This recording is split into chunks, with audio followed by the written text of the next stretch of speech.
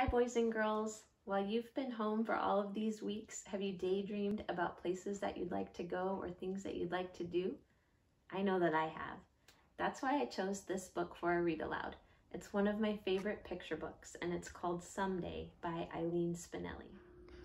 Someday by Eileen Spinelli.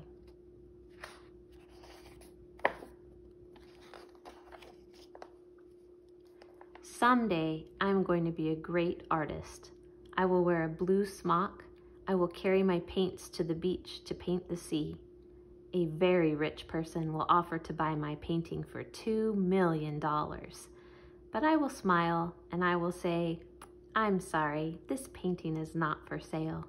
It is a gift from my art teacher. Someday. Today, I'm off to help my dad paint the shed.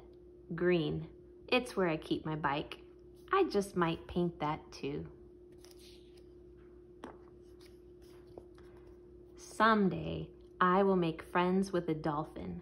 I will call her Wilma. Wilma will let me climb on her back. We will speed across the water. We will sail beside tall ships. We will dip under the waves.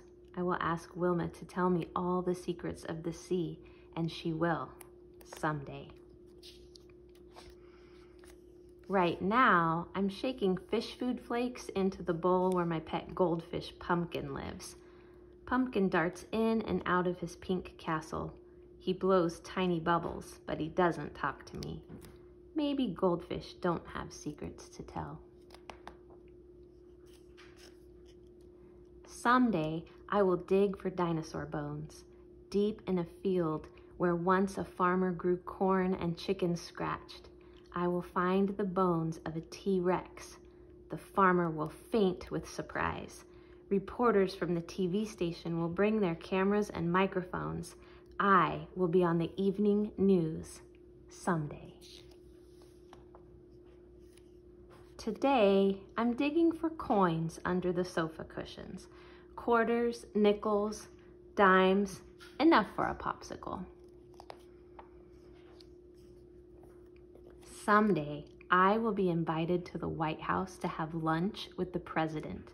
He will want my ideas on world peace. I will wear white gloves and a hat with a rose pinned to it. I will bring the president a box of golf balls. The White House waiter will pour tea.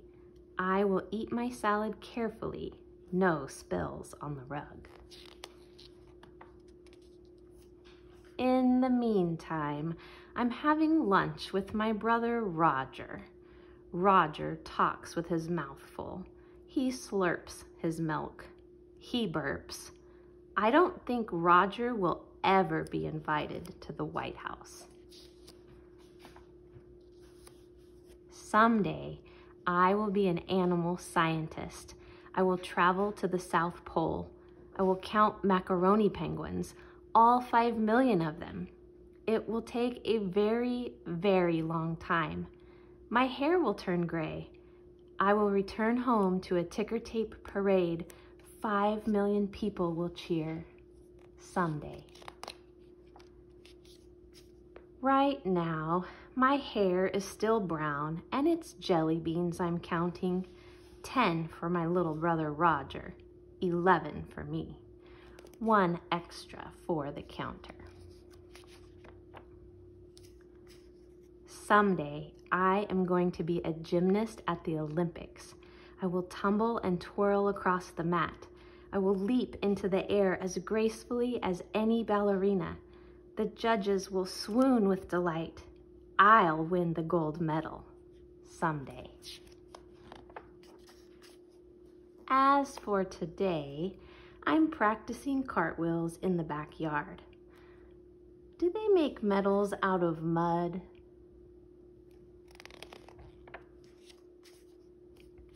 Someday I will spend the night in Egypt.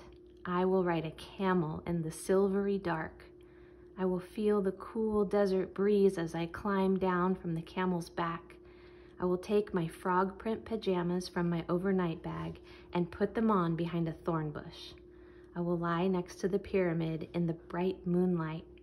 I will dream of golden palaces and pointy-eared cats someday.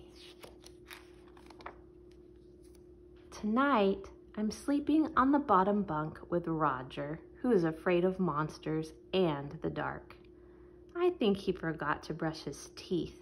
His breath smells like a camel's. I turn toward the open window where the night sky glitters with stars. Quietly, Mom and Dad come into our room to tuck us in.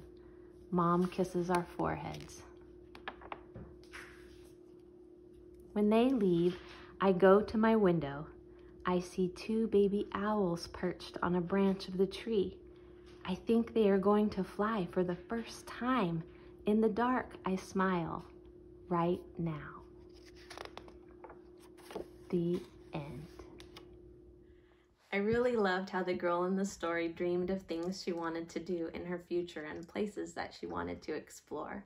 I think it's really important to have dreams and hopes, but I also loved at the end of the story how she remembers to enjoy what is happening in her life right now. While we're at home for all this time, I want you to daydream of all of the things you want to do in your life, but I also want you to appreciate what's happening right now. Give your family a big hug and enjoy this time with them. Goodbye for now and sweet dreams.